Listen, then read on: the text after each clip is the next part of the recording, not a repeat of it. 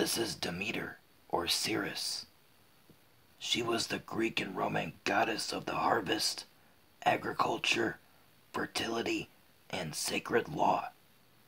She was one of the twelve Olympians